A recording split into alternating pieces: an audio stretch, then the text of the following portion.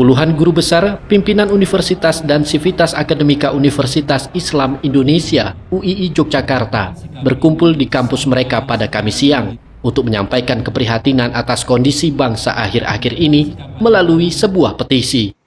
Petisi berjudul Indonesia Darurat Kenegarawanan dibacakan langsung Rektor UII Fatul Wahid.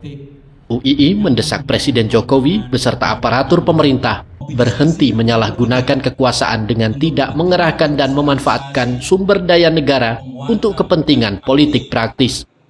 UII Yogyakarta juga menuntut Presiden Jokowi tidak melakukan politisasi dan personalisasi bantuan sosial.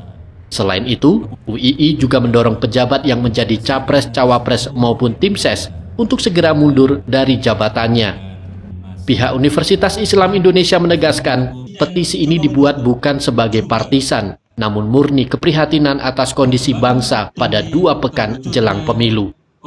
Dua pekan menjelang pelaksanaan pemilihan umum 2024, perkembangan politik nasional kian menunjukkan tanpa rasa malu gejala praktik penyalahgunaan kewenangan dan kekuasaan.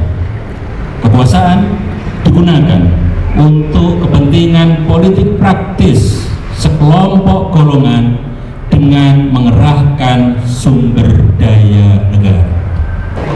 Tidak ada seruan kepada Presiden supaya mundur dulu Pak atau cuti atau gimana Pak supaya ini berhenti segala program bantuan.